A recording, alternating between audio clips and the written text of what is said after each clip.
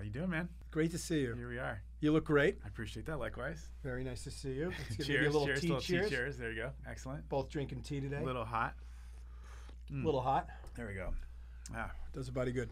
Uh, well, when I see men with beards, the first thing I like to do is start off with telling them their beard looks great. I'm one to compliment facial hair or hair in general. I appreciate that. Yeah. I appreciate that. Yeah. You know, it's funny. I've, I've had this for a long time and um, was told that I could not win elected office with a beard, and uh, somehow made it. I made it through. Congratulations. yeah, yeah, yeah, I made it through. Yeah, Yeah. yeah. I mean, the, the, like obviously the old the old way of thinking was that you got to shave for for politics. Not in California though, right? It's like a New York probably. You know- you, would. I Suit think it. I think it's more now versus before. I just think it was like I think beards are much more in than they were. I guess so. Uh, yeah. you know, I mean, just go back and look. Go back and look at movies from 20 years ago. eh, You know, versus today. Like just a lot more people with facial hair now. Yeah. Well, baldness Well, was definitely not in a long time ago. I don't know, man. I don't know. It's always uh, Bruce Willis started it. yeah. I Okay. think so. He was my inspiration. Picard. You know. You know, when I saw Bruce, I was like, all right, it's Yeah, time. Because yeah. I was losing it. It was so hard to do. And I'm like, all right, it's time. All right. All right. It's time. All right. all But, right. uh, Connery. I don't know. Yeah. Yeah. Oh, yeah, maybe. Yeah. Well, it's it's great to have you here. I'm excited to get into some some fun topics. As I always like to say, you know, the purpose of this is really to help people think about conversations, uh, difficult conversations in a civil way, um, and in that regard, have meta politics conversations. How to destroy this us and them mentality, the toxic polarity that exists at all the levels of politics, um, and to think about really what's needed and um, to to make it a better space for people. Yeah, yeah. No, I'm looking forward to it. I, I, we are, we have to, we have so much more in common than uh, we have in, in terms of difference, and yet that doesn't seem to be what people focus on. Right. And so I love, I love the, the kind of basic premise of your show. I, I'm just trying to have conversations so we can get to know each other better and build more dialogue, and also build more opportunities for people to feel like they can access their government and, and, and really engage with their government. Yeah. Well, thank you. Yeah. Um, well, I should first congratulate you on a, a pretty big accomplishment. Uh, it took some years, but a new bill has been passed. Yeah, very exciting. Uh, this is our SB 54, uh, uh, you know, a sweeping um, plastics pollution bill that we just got through the legislature after four years of work. Lots of uh, lots of ups and downs, and you know, literally up maybe two weeks ago, we thought this whole thing was dead, and we finally got it across the finish line. It was the product of, of many many months of, of really intense negotiation between business and the environmental community, and we ultimately got it passed, um, you know, with bipartisan support. And uh, as a result, we you know the, the, the plastics measure that had qualified for the ballot is now going to be off the ballot. And now we have a really strong nation-leading policy that will give the producers who have the most control over the stuff that gets out there, the plastic that gets out there, more responsibility associated with the end use of their products. It's a producer responsibility system, extended producer responsibility system, and you know, I, I got to say, it's an example of, of what you were talking about earlier. I mean, you know, here we are in this really polarized moment, and yet we were able here in California to bring together business leaders, environmental leaders, environmental justice folks, I mean, and, and folks from across the business spectrum too. I mean, from the haulers to uh, to, to, to retailers and grocers and, and distributors and everybody in between, producers, and then of course local government as well, to come up with a solution that ultimately won support from both uh, to both Democrats and Republicans. And I was just so proud of that. Unanimously. It wasn't unanimous. There were certainly unanimous. no. There were still some folks who, who, who did not support. Um, but uh, but but nevertheless, we had strong uh, bipartisan support in both houses. yeah. Yeah. Well, that's a good example of um, the ability to do exactly what we're talking about. Yeah. Create the kind of consensus. The, It's, it, it doesn't happen as often as it should. Yeah. Uh, and especially not on really big things, Yeah. because it's hard. I think you know you get a lot of vested interests and a lot of people that get kind of stuck in. And it was interesting. I mean, the Howard Jarvis Association came out against it because um, there is a there's a there's a fee mechanism associated with it. Though, of course, one of the arguments we made all the time, and I think resonated with other taxpayer groups, that actually the status quo is more costly for regular folks. I mean, the, the League of Cities just came out with a study saying that they're going to have to jack up everybody's waste hauler rates, you know, the rates that you pay for your trash pickup. Uh, so that's coming out of people's pockets, partly because we have so little coherence in our waste system. All this junk just keeps flooding. There's no there's no mechanism for accountability or even responsi- any responsibility on the part of the producers. Uh, so by by creating more coherence, it will actually uh, lead to, to lower rates in the long run. uh, or at least stem the ever increasing rates. And so that, that has to be factored in as well when people are thinking about um, the front end costs that might be uh, initially put on, on on some of the new products that are going to be out there as a result of this bill. So, as a result, Cal Tax Association, for example, state you know they didn't they didn't come out in opposition, and they're a really important mm-hmm. taxpayer organization. I think they realized that there was a lot of wisdom to what we were trying to do. Uh, but because Howard Jarvis came out against, a lot of Republicans got really nervous because yeah. uh, they're, you know, it's hard to break with them when you're when you're on that side of the aisle. Uh, but some very you know bold folks saw the value of what we were doing, saw the fact that the Chamber of Commerce was asking for folks to support it, the agricultural community saw that it was really a grand compromise, and, and saw the wisdom of what we'd done, and they voted for it. Yeah. Well, this is this is, and this sort of goes into this interesting concept of, you know, when when you're a senator or you're at any level of politics, there's certain knowledge that you have that no one or, or the way that things work that you just don't know unless you're a senator. Yeah. There's just no way for people to understand that what the day to day looks like for you.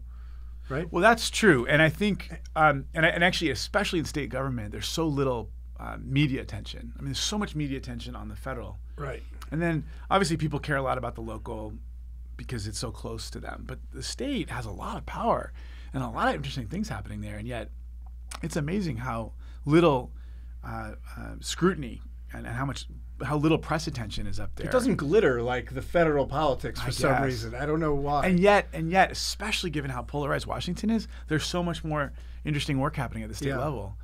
Uh, and yet, there's a fraction of the correspondence, a fraction of that. I mean, I don't know. You think about the fact that we live in a state of 40 million people. I was in, I don't know, a few years back, I was in New Zealand. I don't know, New Zealand probably has 5 million people and you know, Australia I went to afterwards 26 million people right? So significantly less both of them significantly less than we have. And in fact our economy is far bigger than both. And yet in both countries you had several major you know, different you know, news channels lots of major national newspapers all of this attention on their own national politics. And, it's, and yet in Sacramento I think we're down to like 14 full time correspondents there now uh, from from the media. It used to be about fifty hmm. back in the day. It's just extraordinary. Why is that? Why do you think this is? Well, I think it's it's it, so it's cheaper and easier to just have everyone to, to have all the news focus on on, on Washington. Uh, because you you know as opposed to having to set up shop in 50 different states. Now I would argue that you could set up shop in Sacramento and, and cover California, and there would actually be a lot of interest. Um, but it is the fifth biggest economy. Yeah, in the fifth largest economy in the world, and with 40 million people just here, and, and, so many people here, right? I mean, there's so many big markets. If you think about San Diego, is like a, it's like it's the third largest city in the state. It would be the most important city in most other states, right? I mean, on its own, Sacramento as well is a massive city, but it, nobody thinks of it as an important city, you know, compared to San Francisco and Los Angeles, right? Yeah. And even within San Francisco and Los Angeles, you've got you know all these you got Orange County and you got the Inland Empire, you got the South Bay and you got the East Bay up in uh, you know, Marin. I mean these these enormous megaliths of of of of, of power and and motion and, and innovation that are happening up and down our state, and yet.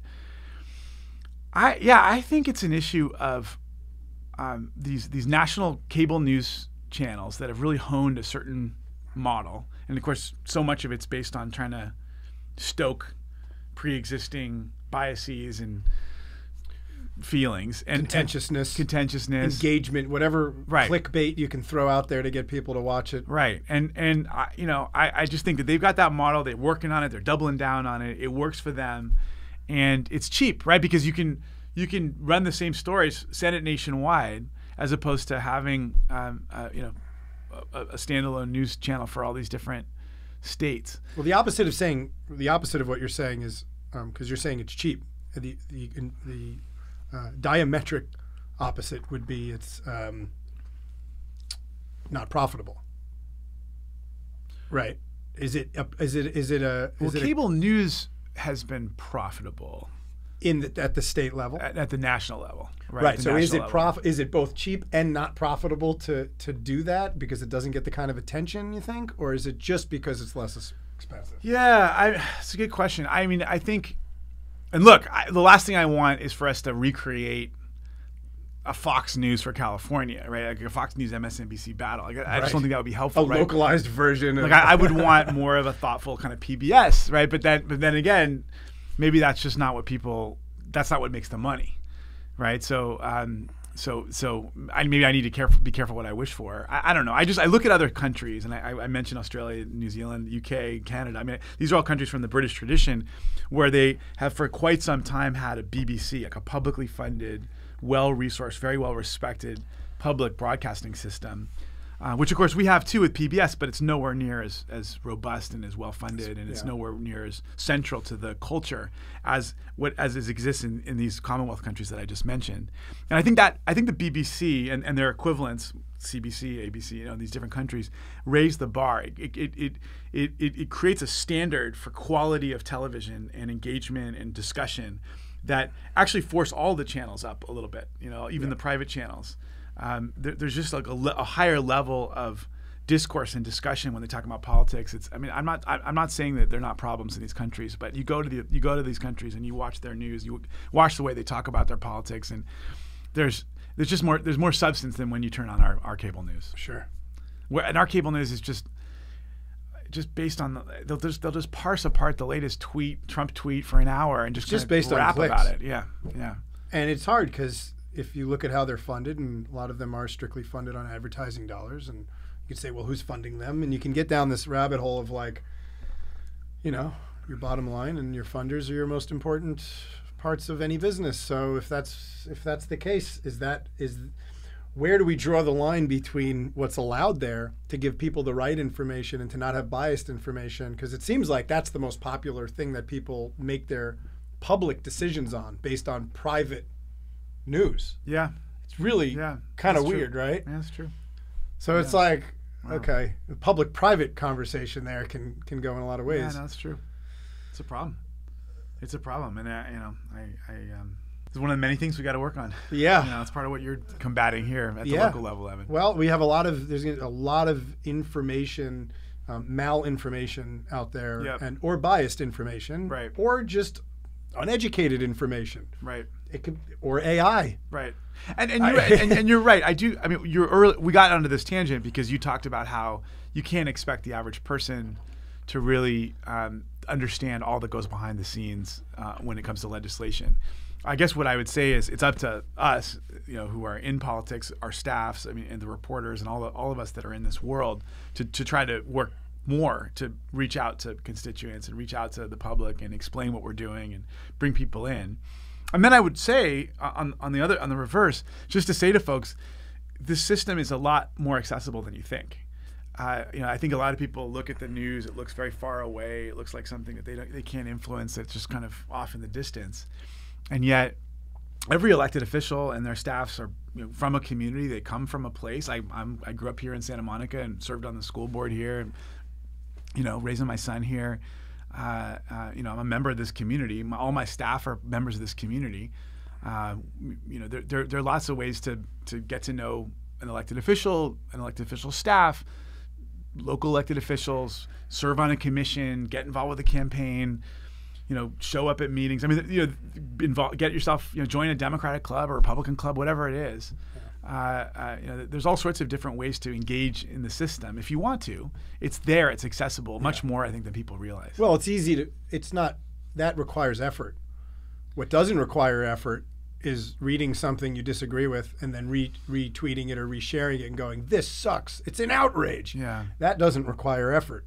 It a lot less. Yeah, you're right. You know, yeah. it, well, then you just get into the yeah. pool of nonsense right. of whatever, and but it, it takes work. You have to make a commitment. You and have then to you go down up. algorithmic rabbit holes. Algorithmic rabbit holes, which is yeah, like, yeah. which is unfair. It's one of the things I've actually thought about for even social media companies. It's like they should start. They should bias good things. There yeah. should be if you're that powerful, totally. you should have an algorithm the algorithm that says, "You know what? This is a this is wonderful news. It's pure goodness. It helps humanity." We have a little part of the algorithm that puts that up to the top, not just things that people click on. Yeah. Because they are this is part of that public private. It's like private business influencing the public sphere. Yep. You're absolutely right. And uh, you know, obviously we've got you know, strong appropriately strong rules uh, you know, protecting freedom of speech and all the rest. But I do think we're getting to a point where we've realized that the way the the un the, unregul- the unregulated uh, flow, flow of speech on, on social media, um, and, and, and, and, well, I, I, think we need to figure out a way to to to push the social media companies to to, to, to steer away from, from misinformation at the very least. Opinion is important, but but misinformation and uh, the constant uh, negativity that, that seems to dominate a lot of people's feeds. It's just it's not helpful. And vitriol. Yeah, vitriol, uh, violence. You can't it's get not anywhere helpful. that. It's, It's, not, not. helpful. Well, w- let me ask you this: What? Okay. Well, I was going to ask you what is misinformation, but let me let me. I like asking this better, more. What is a fact? That's a great question. I mean, I'm, I'm, I, I it's something. It's a, it, it is, it is something that is absolutely grounded in truth. Uh, ideally, it's something that is evidence-based, demonstrable, provable. I know, of course, there are some facts that are harder to prove than others, but, um, but a, yeah, a, a, a, a, a statement that is grounded in, in, in truth and, and that is that's that's provable. Yeah. I would say Objectively. objectively. Yeah. Yeah. So Yeah. that without any, um, it can't it can't be misinterpreted. I would. I, I. Sure. Of course, lots of facts are misinterpreted. Well, of course. uh, well, but- because I don't think we have. I don't think we people have the same definition of a fact, which is why I ask it. You ask one person one definition, and then you ask someone else a different, and they their experience of that is different. And then you say, well, what are the things you read? Are you basing your anger on your definition of what a fact is? Because that's a pretty pure definition of a fact, right? When you read certain news and you get outraged, are you looking to make sure that what you're getting outraged on are actual facts that, that are in line with your definition of a fact? Or are you just getting the emotional portion of it, then sharing it to a million people and Right.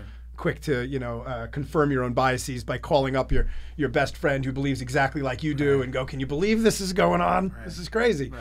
You know, I think you're right. The la- it's usually the latter now, and and as, as we've been discussing, right, the the, the social media bias is, is toward doubling down on that approach, right? Yeah. And, you know the um, what's that great film that just came out? The documentary, the social um, social dilemma. social dilemma. Yeah, it does a great job of spelling all that out Yeah. for folks who, who are interested in. He was on Joe Rogan too. Oh, okay, good. and he, they, they speak at length about it. yeah, Um, Yeah. It is really interesting. yeah. Um, actually, that's how I found out about um, the one he did with Daniel Schmachtenberger. Uh, they mentioned uh, Brave Angels guys Oh, okay. who I met with So that's how last they week. came on. Yeah. Yeah, and then I heard them and I went and reached out to them because I was like, "This is a great mission." Yep. Um, We need more of that.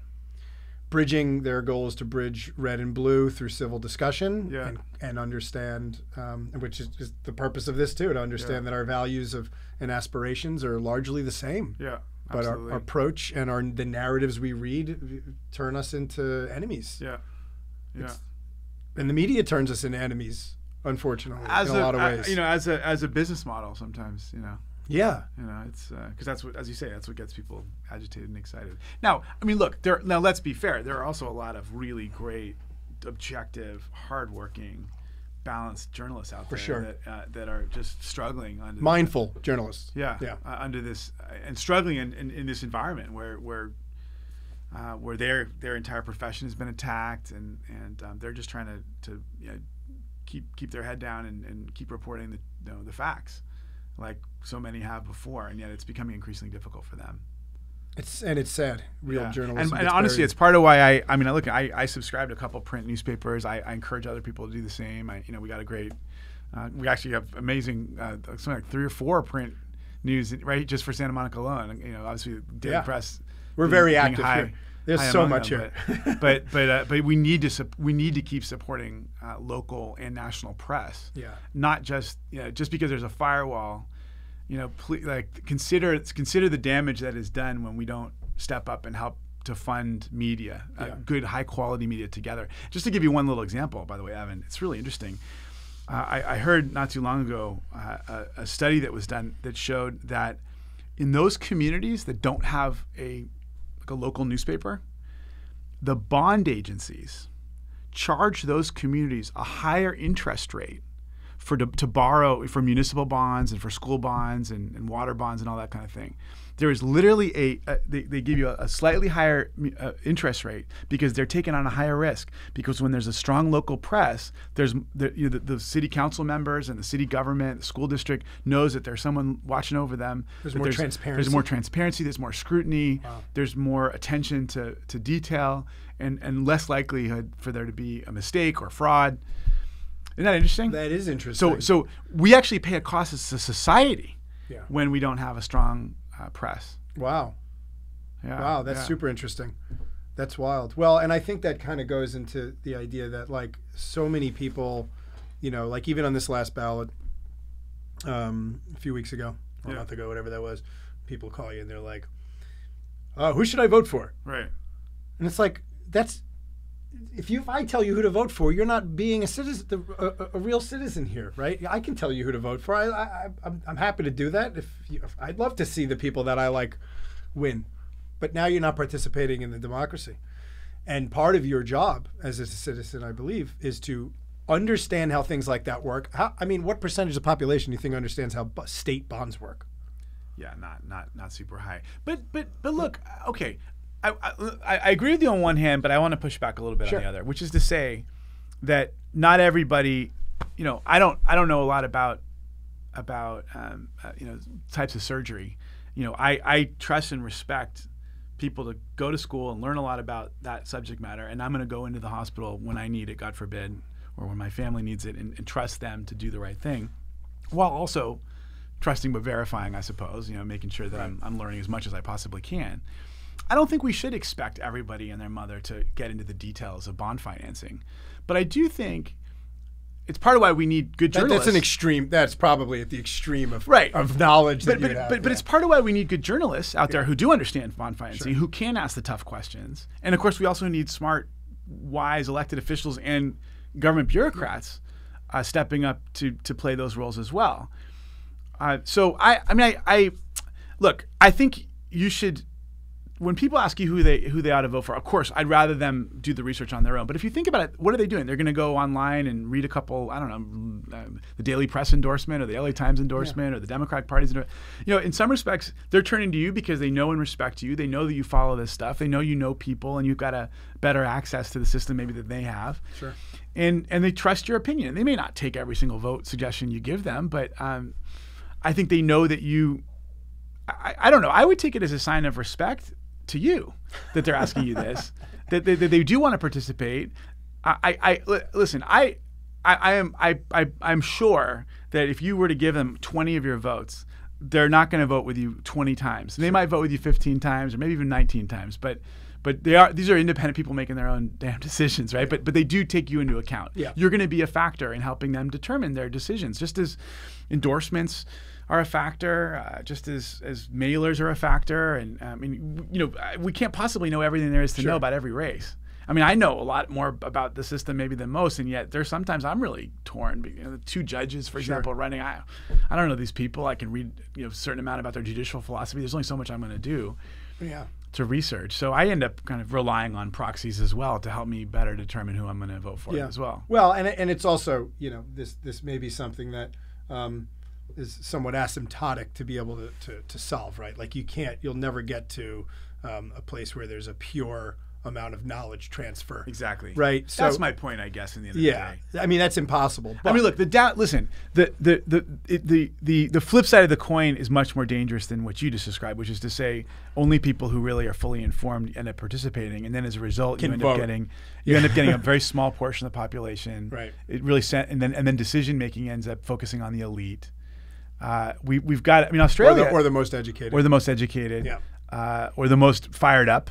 Yep. I mean, this is one of the problems yeah. with the primary system in a lot of well, that's the number states. one, isn't it? Like the right? squeaky wheel. It's all the squeaky wheels that end up, you know. So, so these members of Congress that are saying all this crazy stuff right now, when you understand who it is that they owe their elections to, you start to understand why it is that they're so wild. Yeah. And it's because they're really focused on the partisan primary voters in their gerrymandered districts back home that are actually a very small portion of the population, but they're super fired up. Right. And as a result, they're they're they, they're incentivized Yeah. to go off the deep end, you know, with Yeah. their messaging and their positions. Yeah. because of that small portion. So And that's that portion is sadly what most people, I believe, think is the reality. yeah, Is that extreme messaging, and this gets to that sort of point that we've talked about before, is like when you make a ticket for a ticket, sorry, uh, a policy. Um, I'm like in customer service mindset. yeah, Uh, yeah, the um, the when you have a policy and let's just say it's I don't know climate whatever and Ben Allen if you vote a certain way on this policy you know Ben Allen supports this policy or Ben Allen voted against this policy right, right so the people going against you who want you to lose or would say that I can't believe he voted against this policy um, uh, and you didn't necessarily for what I'm talking about but No, for but- the sake they then- don't realize how much is behind that Totally. that you're voting against. It's all the other stuff. And I'll tell you, legis- Evan, I run into this problem a lot actually because the, the process of crafting bills is messy, right? Uh, you know, think about your conversation. I don't know, conversation you've had with your wife recently, where, um, you know, where, where maybe you're trying to make a decision about where to where to um, have your kid go to school, or or, or or some you want to remodel the house or something. You know, there's, it's it's oftentimes a long negotiation. Right. Where you know where you have many conversations. The legislative process involves votes along the way, and each vote is part of that negotiation. And just because um, you you disagreed with going with this contractor doesn't mean you don't want to do a remodel. You just might- Right. you, you know that just that particular contract may not have been the one that, that you thought was wise. Uh, you, you were interested in a slightly different approach, and yet the vote that's on the record is you voting against that contractor or voting against that particular bill in that particular form. And that is one of the many challenges of, of serving in this position because you have to cast a yes or no vote on these bills. Yeah. And sometimes you, you may love the idea or the core thrust of a bill, but there may be a lot of details in there that give you pause. If you just vote for that bill without any uh, without any, asking any questions or any caveats, you, you are, un, you know, for better or for worse, rubber stamping what's in the bill. Um, what ends up happening, of course, is that people say, "Well, I'll vote for this to continue the conversation, but I reserve the right to not vote for it later." That's confusing to people sometimes in the general public, but you know, within our system, it, it's important. But what ends up happening sometimes is that that sometimes when things get really toward the end of a vote, where, where, you, it's literally this bill's either going to go into law or not, or it's going to go to the governor's desk or not. Then then you you gotta you have to kind of make a decision ultimately. Okay, you know, am I going to I, I believe in 60% of what's in this bill, but I really am having a hard time swallowing 30%. Yeah. Am I going to take the decision to vote for it anyway? Yeah. And, and that becomes a really tough thing. And, and, and it can be so easily characterized uh, out, out in the public when people don't understand all that went behind. Yeah. And, and you know, it's part Ben of why, Allen's responsible Right. for this one aspect of a thing, and then they'll, Right. they'll, they'll focus on the aspect of the bill, Yeah. right? And Yeah. be like, Or, or they'll focus on the part of the bill that, that, that you know, that, that, that everyone can agree with. yeah, uh, and he voted against you know X, Y, and Z. Well, whereas real, you know, I had no problem with X, Y, and Z. In fact, I like X, Y, and Z. The problem was J, K, and L that were also stuck in the Right. bill. But the bill the bill doesn't read well with J, K, and L. Right. The bill says climate bill. right? So now, whether you vote for or against it, I, I think that's one of the Right. things that many people don't know is the process and what's behind it. By the way, sometimes I just go up. I've said, you know, this is important enough. I'm still going to vote for it, even if I, because every every bill ultimately is a, is a product of compromise. I mean, I, I brought up the, the plastics bill I just worked on. You know, in order to pull together all those people, everybody had to make a certain compromise. There are a lot of people in business who, who think the bill go way too far. Certain people in the environmental community thinks that the bill doesn't go far enough Yeah. you know, and there were people who were complaining on both sides right up to the end, uh, raising concerns. Oh, I wish we'd done this. I wish we'd done that instead. And in the end of the day, you could you could you know parse these things apart till the cows come home, and then never, never do anything, uh, because in the end of the day, you also have to pull together enough of a coalition that really is broad based to get bills across the finish line. And um, you know, Mike Feinstein actually just wrote an interesting piece you know, to, to certain Greens, for example, who obviously are hardcore environmentalists, uh, who I tend to agree with on, on you know, a lot of environmental issues, who were complaining about the bill, uh, uh, you know, not being as strong as they would have liked to have seen. And, and Mike makes the point: look, guys, you know, it's either, you know, it's it's, it's either this or nothing at all. Uh, you know, there was a ballot measure out there, but for a lot of reasons I can get into, we, we thought that at the end of the day, after the opposition was going to spend 150 million dollars kicking the crap out of the ballot measure, we, you know, the polling data that I saw suggested it was going to eventually lose. So having a really strong bill that might, you know, that, that goes 90% of the way is still such a win. And but yet there are some people out there who focus on the fact that it didn't get you to 100. percent You know, and so Right. Well, that's sort of that's the challenge of the job too. Yeah. You have to make something to get you. The, you need the activation energy to get you to say the eighty percent mark. Yeah. And you say, well, was this good? Is this good enough to get us there so we can make refinements over time? Yep. And that's sort of with any decision you have to make in business, like even like starting a company. Yep. totally. We call it an MVP. Totally. Right. And of course, the negotiations are fascinating, right? Like when we came out with our bill after this, all these negotiations, we got. I, I would argue that we got to eighty-eight. I don't know, ninety percent of the way. Let's say. Yeah. And then some, but some environmentalists held out and, and actually arguably pushed this to ninety-five percent. Um, good for them, right? I mean, you know, I, I think they, you know, we. I was so worried that it was gonna, the whole thing was gonna collapse as a result, but they held out, and ultimately we we really finessed the language, and we got to a point where where it got even stronger than it was, and that was fantastic too. But you never quite know. I mean, these negotiations are so delicate, and uh, when you got so many people riding on that surfboard together, Yeah. any little change could could could upset the balance. Yeah, and you know, one of the things I've kind of thought about also at the local level is, you know, whenever there's this polarity on a certain issue, maybe it's a development, maybe it's something here in Santa Monica, whatever, right? Um, and they all they tend commonly to become pretty toxic sometimes, Yeah. and that's pretty frustrating. But you know, at the end of the day, there's a matrix of of possibilities and decisions. You say, okay, these are the things that we're approving, and this is the possible outcomes, right? And there's a cost benefit um, to these to any decision that you have to weigh out. Yeah. You could put that into a table, say, here is the the hundred things we've considered, and like you said, we agree with 88% of them. 12 of them are not good. But then you have to make the decision. Is it better? I, now I have to make a vote. That doesn't mean I agree with it 100% Right. it means that I agree with enough of it that it's the right decision. Not that every single aspect of this is perfect. Right. But if you'll get those 12% of people who then hate you for it. Right. Now, ideally, ideally, sometimes at least you can, and this this comes down to both relationships and spidey sense. Sometimes, sometimes y- y- you're in that situation, the 8812, and you can say, "Look, this is a good project. Let's go. Let's go. But let's spend let's spend a couple minutes with the with the proponents on the 12 and see how many of those we can cut down.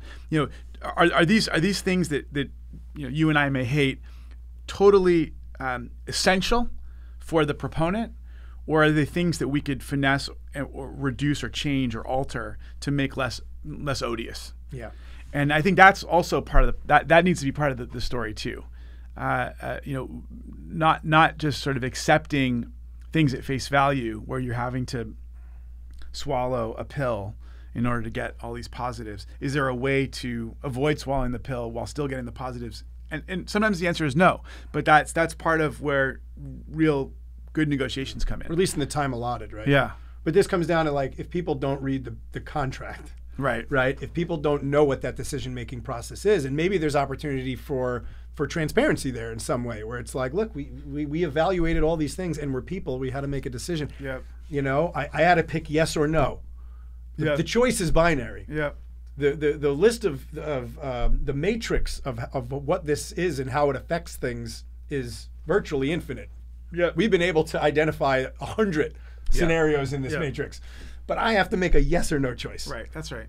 And that's That's tricky. right. It's very tricky. It's part of. I mean, it's part of. Yeah, it's part of what makes um, being in these positions difficult. You know, and, and of course, I've now had to make literally thousands, and I you know I, I can't. It's it's scary for me because I, I like I pride myself on you know being someone who tries to take my job really seriously and be thoughtful and well researched and well grounded in the decisions that I make. But I can't. I, I've literally cast thousands and thousands of votes since I've been in the Senate, and I, I can't look you in the eye and say that every single vote was as well informed as I would have liked.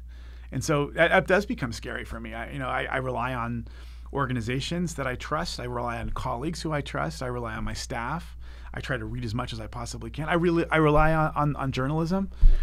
Uh, but but you know, uh, it, it's a it's a it, that's another that's another you know part of the story. It's part of why we need a robust civil society where and a robust you know uh, journalism class that's always asking tough questions and making sure that stones are being over uh, you know overturned and because because you know the decision makers are being asked to make a lot of decisions that are never going to be as well informed as as um, as as they would ideally be. God, Yeah. thousands, Yeah. Oh yeah. Thousands and thousands. thousands of times you've Yeah. been through that sort Yeah. of like struggle. Yeah, ab- absolutely. It's been it's you know you get you get um, hardened a little bit at, through that process, uh, and I do think you end up. I think over time you start to understand. Okay, which which of my colleagues can I trust? Right. I mean, which of them have delivered in the past? Who you know, who, who, you know, if they tell you this is a good bill and, and I'm going to address this, this, and this, you know that they're actually telling you the truth Yeah. some much more than others. Right. Uh, similar with organizations. I mean, there you know there are some organizations out there whose perspective not only do I just agree with, I trust them. They've got good lawyers. They've got good vetting, and so if they sign off on a proposal, I'm much more comfortable signing off on it as well. I see. So, but you know, and, and then that's also why we all have staff. You know, we've got staff who've who've got distinct portfolios. Uh, they'll, you know, I've got a staffer that will work on a whole bunch of different issue areas, and they'll come to me with recommendations and um, and, and suggestions, and I'll sometimes you know rap back and forth with them, ask them questions, and we'll talk. We'll go back and forth for over the decisions that I have to make. So the information that gets presented to you comes in. I I mean, it must be a wealth of, of information from a variety of. It is. Yeah. It is. I was going to Uh, ask, like, where do you get your news from? You know, in a sense. I mean, I'm old school. I love print news. I, you know, I'm, I'm, I don't know. I, I literally, my, my, my, my colleagues tease me because I love taking pictures of articles and sending them to them. And you know, everyone, everyone gets their news from, from, you know, from their phones. But I find it a really dissatisfying experience. I mean, I, I don't mind flipping through an article on my phone from time to time. I do all the time. But, but then, you know, then someone pings you halfway through the article. Next thing you know, you're down some rabbit hole responding to a text or an email Yeah. comes in and or, or, or there's a lot of clickbait. I mean, I just love having my newspaper, putting my phone aside, Yeah. and just focusing on my paper. Yeah. Uh, so when I'm down here, I get the LA Times. When I'm up there, I get the Sacramento Bee. Um, I obviously love reading the Daily Press as well. When I, um, you know, when I when I have, go out for a walk or take my kid to school, I'll pick up a copy of the of the local the local local press and Yeah. uh, the, you know, SMDP and um, and you know I also are, we have a there's a new, you know we can get the New York Times, San Francisco Chronicle up in, up in the Capitol too. So I, I just love reading the print stuff. Now there's also now that being said, there's some great there's some really great journalism online too. Politico is fantastic, and uh, Cal Matters is is really really great. Uh, those are two really top notch um, pieces of journalism that you, you typically can't get in print. Uh, uh, so, but uh, but yeah, I, I try. I love NPR. Um, I love PBS. I love the Sunday morning news shows, um, NBC. You know, Meet the Press, that kind of stuff. Uh, but I yeah, I do try to keep my my cable news intake. I don't know. I, I, I watch CNN from time to time, and you know, uh, but but I, I don't know. It just one one thing I one of the other things I like about PBS NewsHour, for example, right, is it's like a it's a distinct presentation of the news that's curated. They're not just kind of making it up on the fly, trying to fill the time, Yeah. which is I think you find a lot on cable, a lot. Yeah. Um, similarly with pr- with print articles, right? They're they're they're you know when, when they're well written, you really get all sides covered, and and it's presented in a very receivable format. Yeah. Um, It's hard to find. Yeah. It's hard to find, and I think with all that, you know, we've we've talked a bit about like the, you know, information and being able to, to determine what's misinformation and what is what's real, what's not real Yeah. in this day and age. It's, it's tricky um, to, to kind of remove bias and make a, a very well informed decision. This is obviously one of the the improvements that we can make Yeah. in general, you know, when you look at the distance between government and its people, whatever that distance is in your mind, like the, the connection that needs to be made to to to build rebuild trust, uh, and to make it feel like okay, well, things are working well, and maybe that's never entirely achievable. I don't know. It's very tricky being involved uh, in government. Um, what do you see that the opportunities for improvement are uh, for reform? What are some of the top things to say? These these overhauling changes need to be made so that we can get to a place where people are trusting um, that the people they're electing are there for them. And on top of that, I'll say one of the awards I know you won was a Clean Money Award, and I don't know if any of that, but that's a, a Yeah. cool no, little, let's talk about that. you know. Yeah, I mean, so some of the stuff we've been talking about. So robust journalism. I think um, having just good quality oversight from from the, the fourth estate, the fifth estate, which estate, the fourth estate, Which- you know, from from from from journalists, right, from from the press. uh, uh, you know, making sure that, that people are, are being asked tough questions and that there's scrutiny and there's also a, a, a better, higher quality flow of information between the public and decision makers and, and, and, and everywhere in between.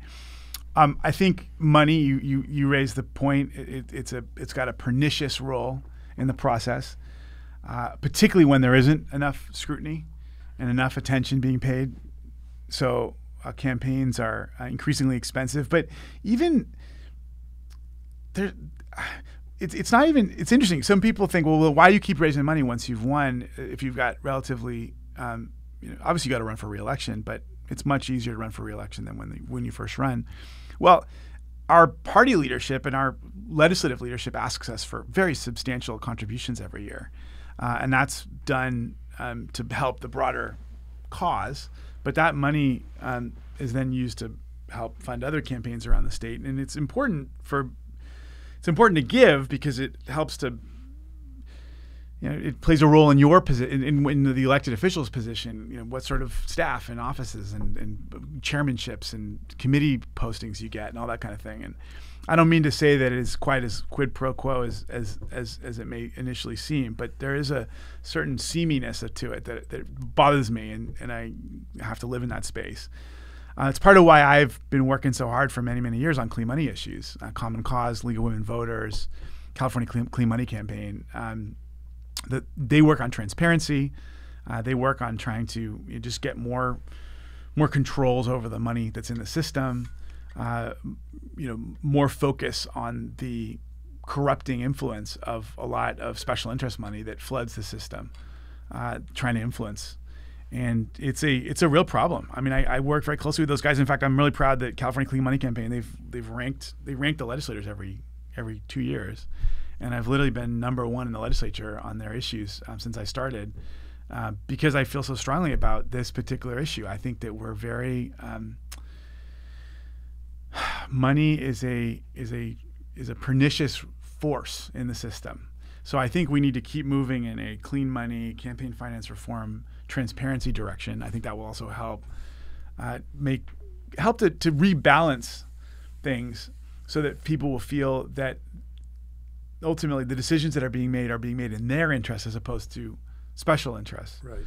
Um, I also think we need some electoral reforms. I mean, I certainly, you know, like the fact that here in California we've been working hard to make it easier for people to participate in a safe uh, and, and, fair, uh, but also transparent way. Um, so instead of making it harder for people to register to vote and participate in the process, we make, we've been making it easier while still having really strong uh, anti-fraud protections. Um, but I also think that um, that looking at things like uh, some of the some of the structural issues that we have nationally, I think the partisan primary has caused problems. That gerrymandering uh, uh, uh has a whole set of, of issues. Um, I, as I've said before, I want to see some more um, kind of publicly funded or foundation funded um, independent news that people can draw upon.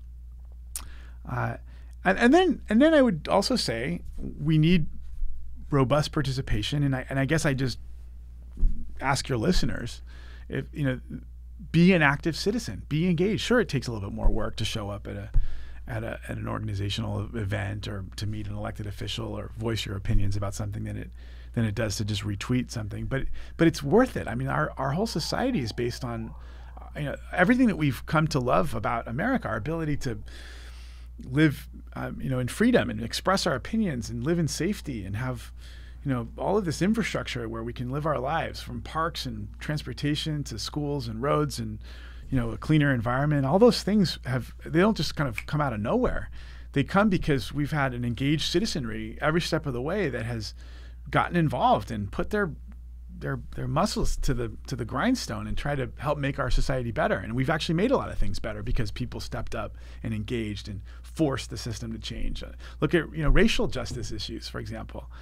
Um, but that but democracy takes constant work, and as much as people would love to just kind of pretend that that uh, that you know, they don't have to do anything, that the system's going to somehow work itself out, our system really does require participation and engagement. And so I, I guess I would just ask people: don't be afraid of the system. Don't be um, uh, so cynical that you don't get involved. I mean, if you if you think the system sucks, fine, come in and vote for some radicals. You know, like try try to push you know try try to push your own uh, perspective. That I mean, that, that's part of the conversation too. But You know Plato's quote. What, which one? Um, it's something along the lines of the, uh, for those who think they're too smart to get involved in politics, will find themselves governed by those dumber than them. Right. That's right. That's right. Well, sure. It's a I great, love that. it's a great. I remember that quote. Yeah. And there's another. Yeah. And there's other ones that say like if you're not at the table, you're on the menu. right. You know. So um, And in Hamilton, they had an interesting um, line where it's like, it's not in the room where, if you're not in the room where it happens, Right. right? Where, where like, I, there, there's an element of if you want to be part of the conversation, then you have to step into the conversation, into Right. the room where the conversations and happen, and all politics is local. Um, and, and, and how I've seen it and how I've gotten involved, it's like you can go and make change in your local community. Today, Right. your voice is heard, your vote counts one to one. There's no electoral college. You, it's very easy, and it's super super accessible. And I think that's that kind of reform to get people just even just to like it, it's almost should be part of school. Like okay, you have to go participate yeah. in one thing you care about at, at a, in a public service level as part of the curriculum and of course an emotional IQ Yeah. uh, class. Yeah. That well, would that right. Yeah. yeah. But don't. I guess. that- Yeah. Don't be afraid of of getting involved. I think that's um. It's actually really interesting. It's meaningful, and and and and, getting involved doesn't mean you're on the plane with the president. You know, prepping him for speeches. I- you know, getting involved in a neighborhood council, getting involved with a, a, a you know neighborhood organization, stepping up and, and serving on your school, your kid's school PTA, uh, getting onto a commission, joining a local political club. Um, you know, going to hear a, a talk and asking a elected official some questions. Um, you know, going and, and lobbying a, a you know an elected official staff. I mean, all running for office yourself. I mean, there's all sorts of different ways. Well, that's to, your to do example, this. right? Yeah, yeah. you but felt inspired enough to be where you're at. yeah, but I wasn't just. I, I absolutely, but I also was doing a lot of other things too. I think I was all part of.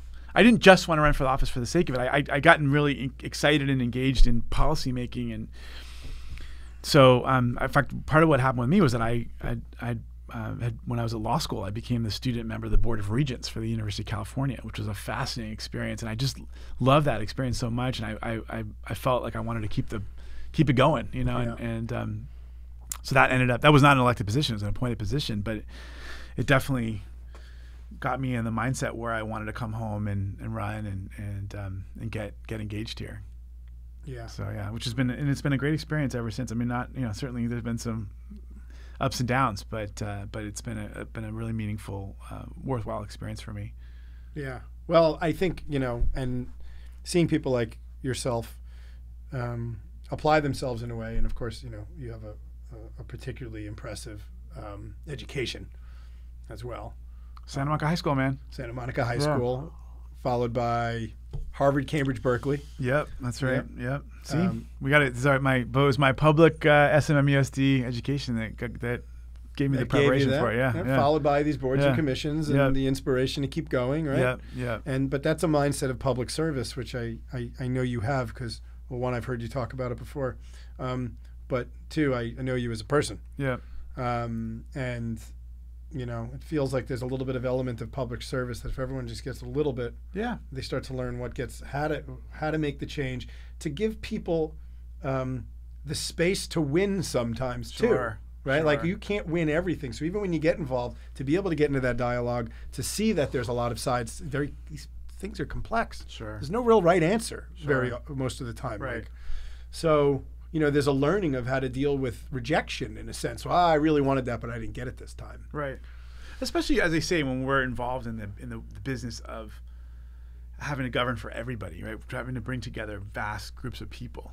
Because everyone, I think, thinks about the law or policy as it how it affects them and the people that are close to them. But there's a lot of other people in our society, and we got to be thinking about them too. right And how state we- and nationwide right and global.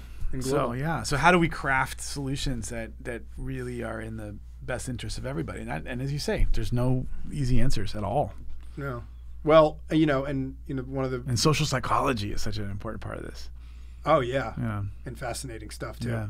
Um, in the kind of recent Supreme Court decision on Roe versus Wade, this Yeah. is obviously a, a, uh sensitive issue for lots of people. Um, but the thing that I always kind of I guess where my head goes with with with this conversation is this is one of many potential issues and uh, past issues as well that we we think about the the what is this predicated on and a lot of it seems to me it's well what power should be given to the to the federal government and what power should be given to the states Right.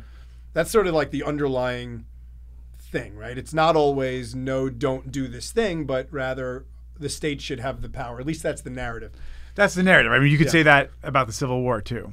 Sure And yet, we also know there was a lot more besides just federal state yeah tension. Sure, of course. So with, without getting into it, you know, the thoughts on you know Roe versus Wade, I, the question is, again, let's stay kind of meta on the conversation of what power should be given to states and what power should be given to to federal government. Where where do you draw that line and say, you know what, I get it, that is a state issue. Is alcohol one of those things? Like alcohol, except for in New Orleans, right?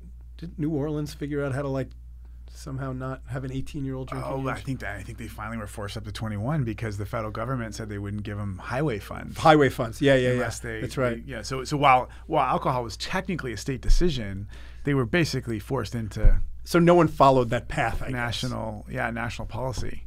But that's um, sort of like we'll, we'll say you know Roe versus Wade is like one end of like the very intense conversation. Around, Yeah. You know, and the alcohol is on the other side where it's like, you know, well maybe it's not all the way to the other side, but it's somewhere in the middle. What do you think?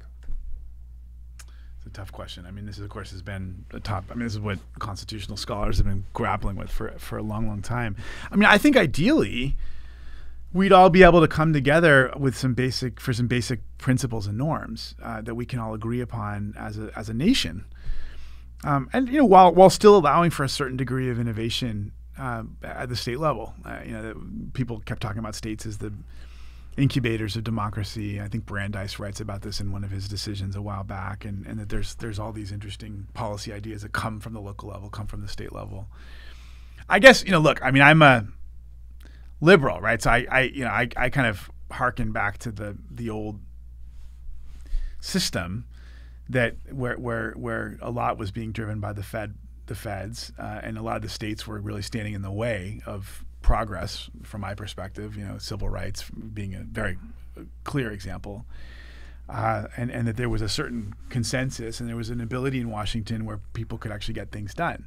Now, of course, things are so broken in Washington, uh, and the states. So, so that that would argue for more state power. The, the flip side, of course, is some of the states are going so far off the deep end. Uh, so, as much as I am really patriotic and and you know California guy and love love you know much of what we're doing, um, I will say that, that not only are there all, a lot of other states that I think are off in the wrong direction. I would also say that one of the problem, one of the other problems with our with, with the, the, the trajectory of our politics, is that uh, what used to be used to be that, that both parties were truly national parties, and and when there'd be a, an election, like, the, the, states were nowhere near as locked in in terms of the electoral college. You know, they'd vote for one party one year, another party the other, and they'd flip around, and you know, there was a certain degree of, of of regionalism, but not as locked in as we see today. And uh, what's what you've seen is as partly as a result of our of, of the polarization and, and the regional aspect of the polarization is that not only are, are, these states kind of locked in in terms of the electoral college, but but they've now also become very heavily Democrat or Republican in the state government, and I think that leads to excess too. I think that I don't think it's good for government as much as I, you know, I'm a proud Democrat and like the Democratic Party, want to keep seeing Democrats getting elected. Um, I do think that the system works better when there is a rational, sane dialogue going on between the two parties, not only in Washington, but also in the state capitals. And partly because of Donald Trump, the Republican Party here in California has done so poorly because people don't want anything to do with that brand here. Yeah. Uh, we, uh, but I think we've lost something as a result. I think there, there, there are. Um, uh, the system works better if you've got uh, Democrats and Republicans who can work together in the state capitals. And I think sometimes the excesses of, of one party's you know extremes. I mean, look what's happening right now in Florida. Let me look. You know, it, it, it, it can it can lead a state in a, in a dangerous direction. I think you're seeing this in a, in, in a number of states around the country right now in ways that are not helpful. So. I don't think there's an easy answer to your question. I mean, I guess I would. I, I, I wish that we could all see more eye to eye so that we could have a stronger federal approach allow for a certain amount of innovation and flexibility at the, at the state level. It's good to have a you know, different culture and different vibe, and but but it, I don't think it's good for our country to have such wildly opposite um, policies uh, uh, from state to state. And I think you know with abortion on environmental issues, I mean, I just I just I can't I don't think this is a good path Yeah. for our country. Uh, and so, as much as I'm, I'm a proud state legislator, and I, I like, you know, I, I, I, want my state to continue to lead. Um, I, I, I, I, I wish we could find better consensus nationally, so we wouldn't need to have um, be, be fighting these these you know the, these battles to protect what we used to think were basic American rights uh, that we're now having to codify here in California. Yeah. Oh man. It's quite a path we have ahead It's of us. tough. It's tough. I mean, the abortion thing, and and then this environmental stuff too. I mean, the fact that we, you know, we've now just the, this court just decided to hobble the the the um, the federal government's ability to fight climate change, the, you know, the great existential crisis of our of our time. Yeah. Uh, and it- you know, as it is, there wasn't enough tools in the toolkit.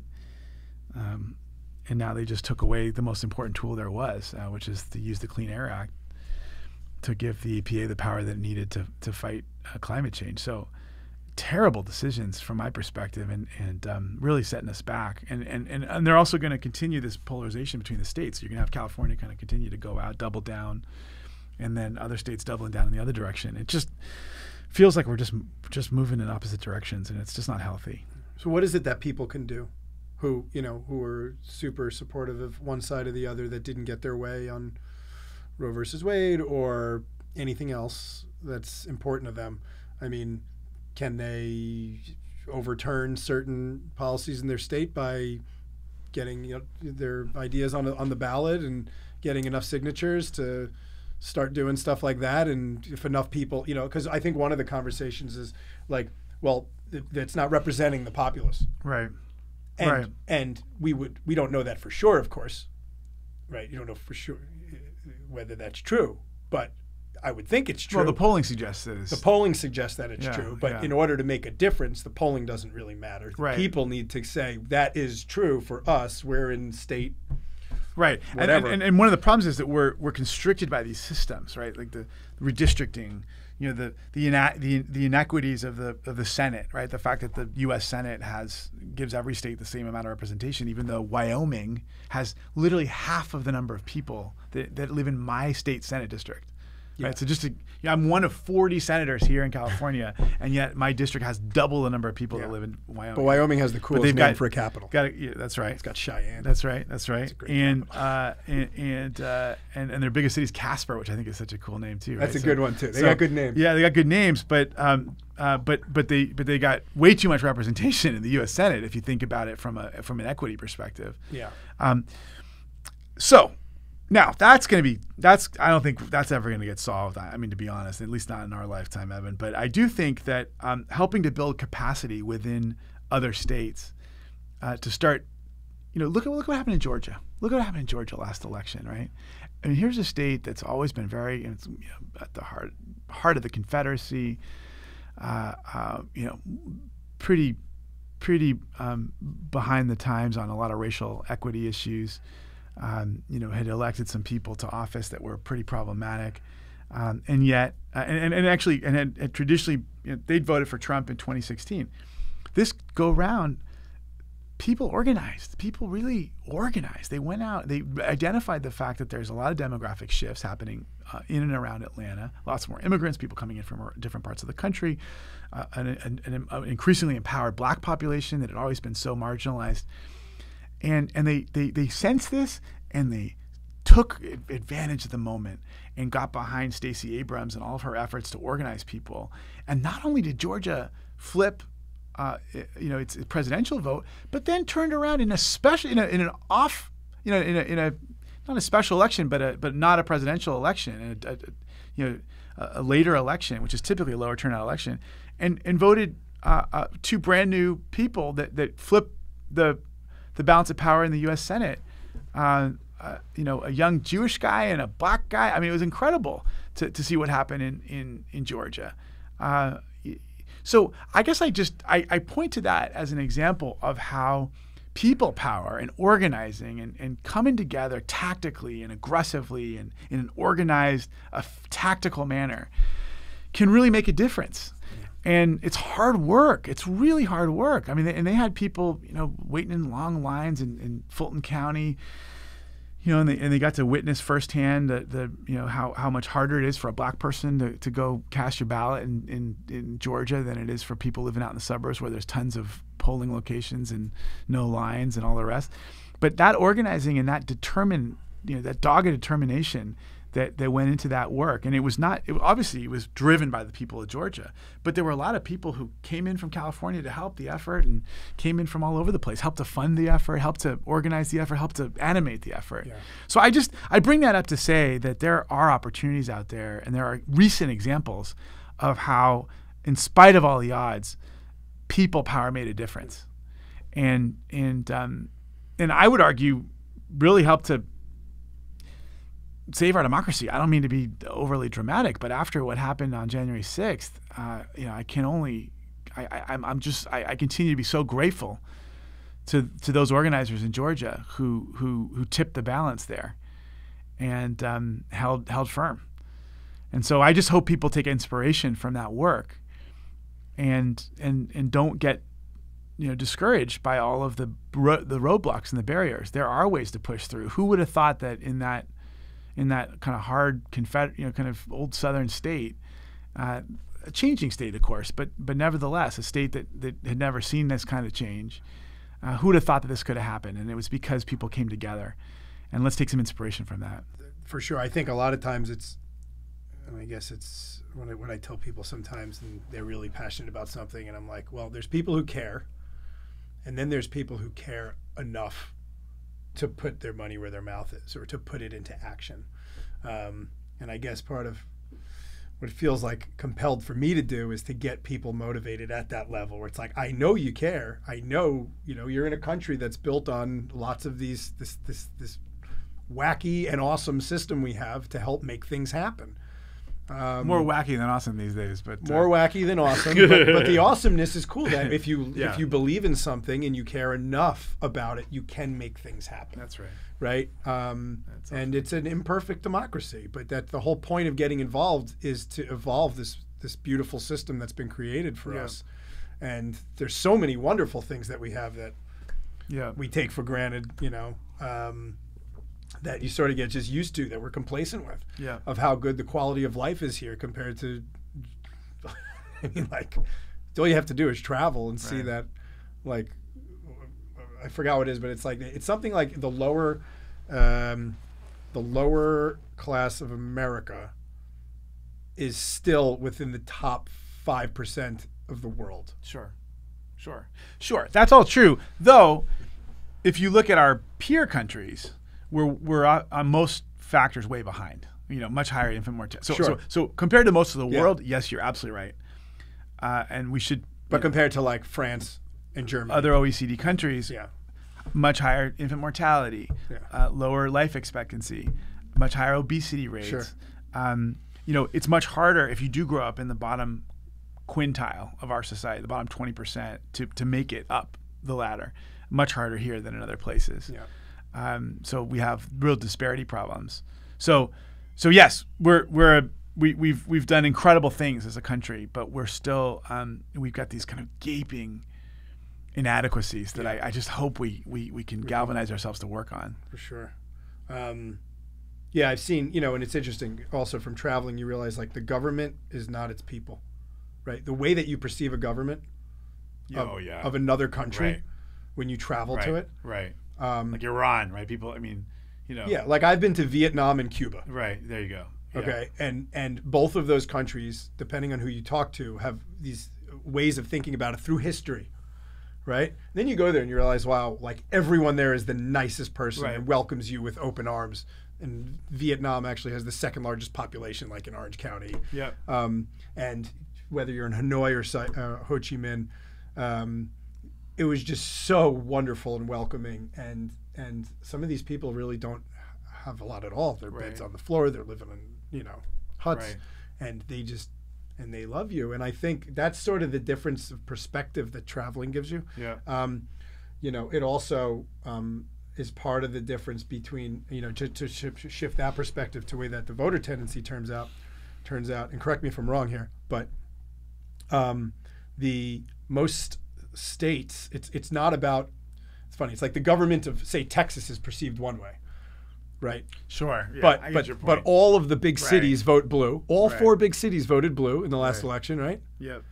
That's right. So it's not even a question of government or people. It's a question of urban versus rural Yeah. a bit. Yeah. And I Yeah. wonder how that factors into the way that people perceive just even Texas. Like Texas is an amazing state. Right. Yeah. Forget about the, some of the policy stuff. barbecue. oh, they got wonderful things there. Yeah. Yeah. And so, you know, I try that's part of the divide that I think is sometimes unfortunate too. Yep. Yeah. Um, No, that's absolutely right. Right. Our governments can sometimes, and our policies can sometimes divide us more than we would naturally be. Yeah, it's crazy. I mean, look. I mean, look. You can say the same thing about any war that's ever been fought, right? Yeah. Yeah, we're fighting over. I mean, this is this is. I mean, the, the I mean, there's been, especially during World War One, there was such great work written about how just ridiculous it all was. We were mowing each other down, and um, and yet there were these moments where the you know on Christmas, the guy, German and French and Oh, English yeah. got up and started playing soccer mm-hmm. together. They came together. and just sort of recognizing their common humanity that and how, story, how just how crazy it was that they were just blowing each other up during the every other day of the year. I think they got all yelled at for that. Yeah. Afterwards. Yeah, yeah, yeah, yeah. They did, but it's become one of the most touching stories of the whole war. It's beautiful of, of Yeah, almost any war Yeah. ever. Um, well, Yeah. And then also singing they were singing carols across the Yeah. across the the common- their trenches. common- yeah, across the no man's land. mm-hmm. And they had you know different lyrics, of course, different languages. where languages. was that? Was that in France? It was on the front. Yeah. in Yeah. World War One. Um, Yeah. Ben, we can talk for hours, um, but um, what do you want to leave people with if you had to tell them? I'm sure you could tell them a hundred things, but pick one that's been top of mind that you can, you know, leave people with here today. Uh, that's you feel is important. Yeah. I, well, look, I just it kind of it's a recurring theme in the conversation today. Just first of all, our democracy is so valuable. Uh, we take it for granted. We have to engage and we have to keep it strong, and that involves everybody's participation um, to some extent or another. Right? We're not expecting everybody to, you know, you can't have you know. 300 million in presidency of the United States, but you, but you, but but we, we do need to have everyone step up and be a citizen you know, and, and be a participant and a, and, a, and, a, and have a stake in our in our democracy. And and I would say, don't be intimidated. Figure out a way to connect to the to the to our democracy that that that resonates with you.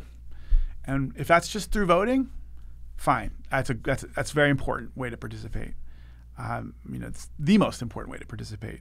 But if you if if the kinds of things that you hear on this podcast, in this conversation, or in the news, or wherever else, r- inspire you to get more involved, you know, if there's an issue that you care about, get involved with an organization that's doing good work in advocacy in that space. Um, if you got some extra money lying around, give money to an organization that you care about, or to a candidate you care about, or a campaign that you care about.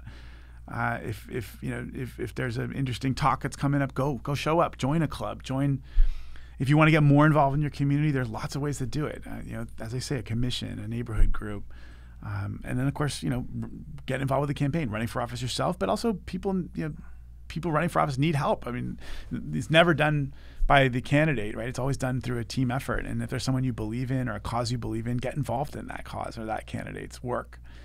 Um, the other thing I would say is uh, we, you know, most elected officials and, and governments have have good staff and, and don't you know, discount working with the staff. Um, oftentimes, the staff is sometimes just as much, if not more, engaged on a particular issue that you care about than the elected official. And so, don't ever forget that. You know, sometimes people just want to work with. You know, I just want a meeting with the senator, and yet sometimes the staff are actually more is better placed to solve the problem. uh, uh, sometimes, right? Shout out to your staff. Yeah, one hundred percent. I got a great team here, and and I would just say, any issues that, that folks have with state government, please don't hesitate to reach out to our our office. Um, we've got a we, we've been helping literally thousands of people over the course of the pandemic. I mean, I, we were just did an inventory, and it was an extraordinary number of people whose lives we were able to help through just just navigating the waters of pandemic insurance, you know, either unemployment, um, you know, insurance, um, small business loans, dealing with an issue with the DMV. I mean, the, the, number of issues that people have had to deal with over the past couple years, we know how tough it's been for folks, and, and we just we're always trying to help. Uh, and if we can't solve the problem because it's a problem, a federal issue or a state, you know, local issue, we, we can always find a way to help connect people with with the, the, the relevant, appropriate person. So you know, don't just don't hesitate to reach out and and before assuming the worst in you know in those people who are in government, um, you know, it's appropriate to assume the worst about some people, maybe, or at least, but but do a little bit of research first, sure. and, and try to get your research from different sources and not just the same sources, and don't just believe everything that pops up on your Facebook feed. You know, do you, you would owe it to yourself, and you certainly owe it to your fellow Americans, to uh, to, to to to go beyond the Facebook feed, right? you know, to go beyond your Twitter feed, and, and to do a little bit more of a deep dive before um, forming a a, a vitriolic opinion about someone and spouting it out to everybody else.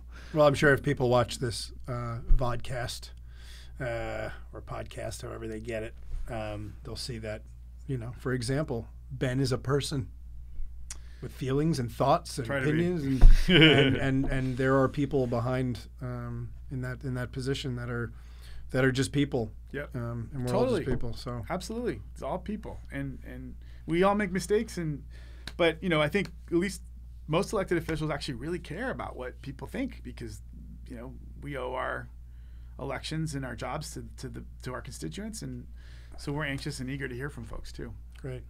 Well, um, there's a, a, a, few friends who wanted to say hi uh, today. Yeah. Um, they couldn't be here in this moment, but Lana Negrete, yeah. Greg Morena, uh, and Dom Bay, who yeah. you know. Yeah. Yeah, um, send their love. And Kristin McCowan, you were mentioning too. Right? And Kristin McCowan, yeah. yeah.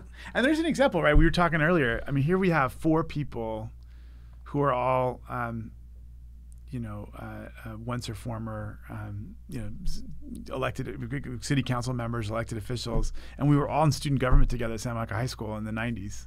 Yeah. And now, you know, three became city council members. I'm in the, in the state senate. I mean, it's a, it's a.